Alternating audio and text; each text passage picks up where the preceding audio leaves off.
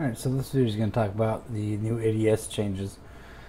Uh, like my field of view is 85 and I have field of view scaling and ADS is on and that's the default right now.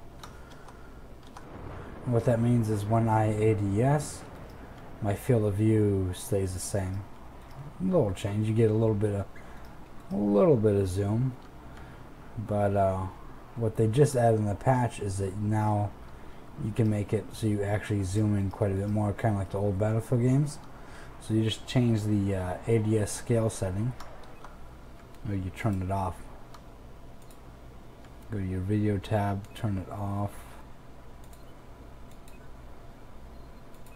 You hit resume and you can see I'm at 85 uh, FOV. You see that? That's a major change from the uh, when the scaling's on. I sort of like it because it's, uh, you know, once you ADS, you have your target. So it allows you to narrow it down. Again, this is,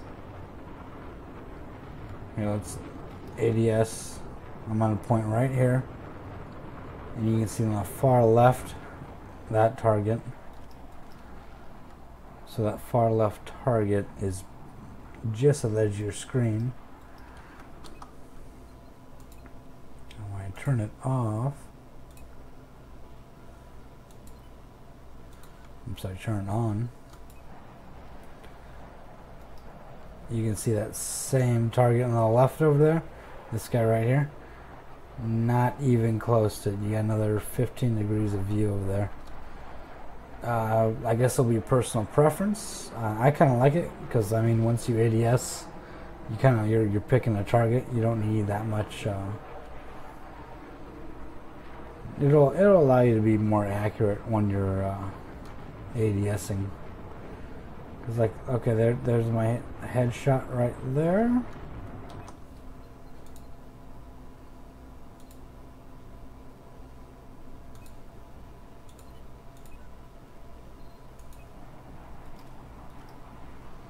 And now here's my headshot now. It's just it's not much, but it's enough that you could probably get an extra couple of percentage of hit. You know what I mean?